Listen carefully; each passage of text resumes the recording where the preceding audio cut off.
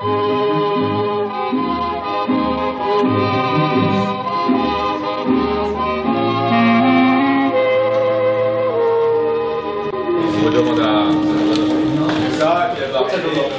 what we're starting by, we're starting by a close-up.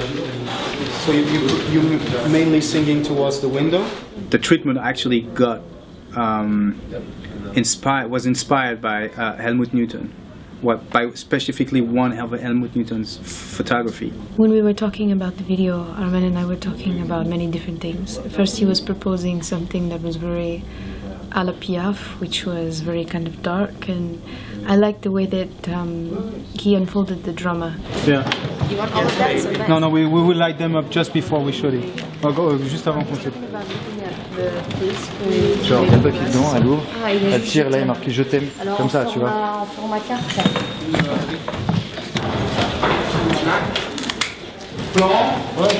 Uh, good. Great. Good. Yeah. On se concentre. Spitting. Et action. Alright, try to bring his hand towards your cheeks. Yeah, that's nice.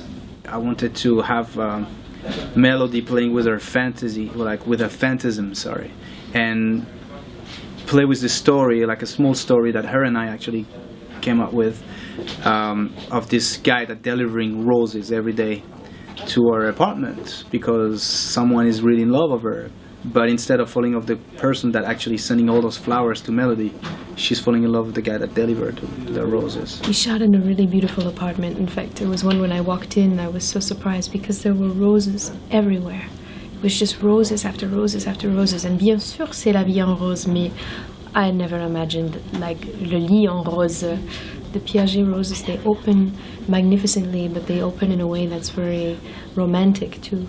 And with a flower like this all around the room, you feel like, you know, la vie en rose coming to life. It's very beautiful. Ok, merci.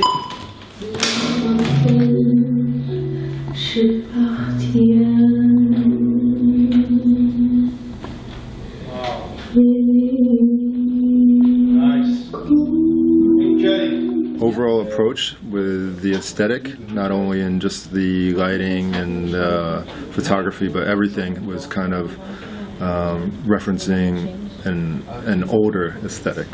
So what we do is photography mainly. Now we transpose photography. It's, it's like cinematic shot. See the guy coming?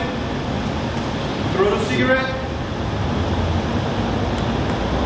Look at him. Cut, cut, cut, cut, cut. Elle va faire semblant de te tirer dessus.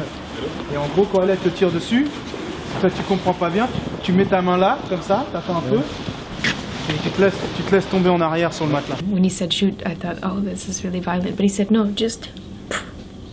And so uh, it was kind of funny. But I thought it was romantic the way you you can consider it, as he said. You can't stand to live without someone, so you you romantically you try to keep them in your dreams. When you write a treatment, you have to have like thousands of these in your head. You wrote the shot list and you have like 50 shots to do, and in one day it's almost impossible. So that's that was really hard yesterday, especially we ended up finishing really late. Cutting. Yeah. Thank you. And this is a wrap for the day, guys. This is a wrap. Thank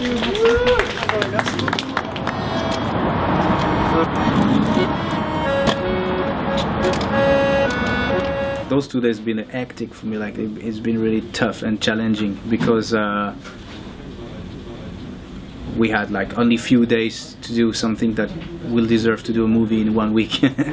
but I'm really proud of this video because there's really a lot of amazing shots in it. The photography, the lighting, we wanted it to feel timeless, and um, I think we've, we've done a pretty good job with it so far. Beautiful symbol in this video, like this paper. If I take it, and then uh, you open it, and it says "Je t'aime," written by my own hand. It felt like you were coming to life, like a painting just opening up before your eyes.